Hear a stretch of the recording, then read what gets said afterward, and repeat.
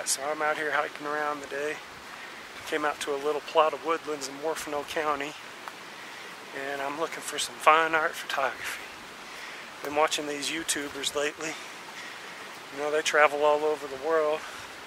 Well, I can't really do that, but come back with these nice artistic style photographs.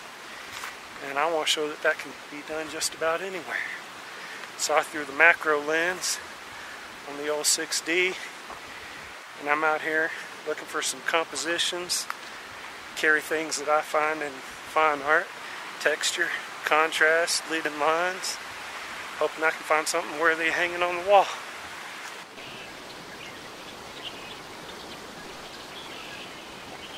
So I found this rock here. Might be a little bit of an odd subject, but it's got lots of different color moss and stuff on it, some lichen, different grays and greens. We're going to take a picture and see what we get.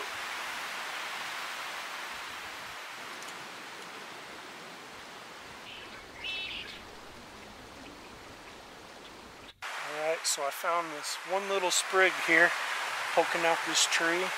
It's got some nice texture in the background, nice texture in the sprig. Let's set it off to one third.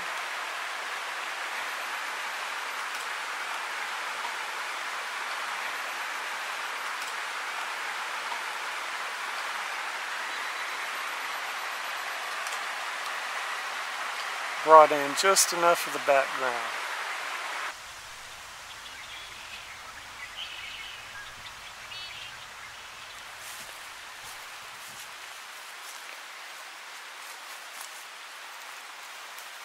So I got these white berries here against a dark backdrop.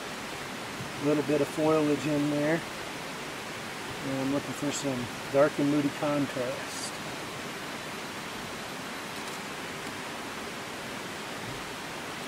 Looking all right.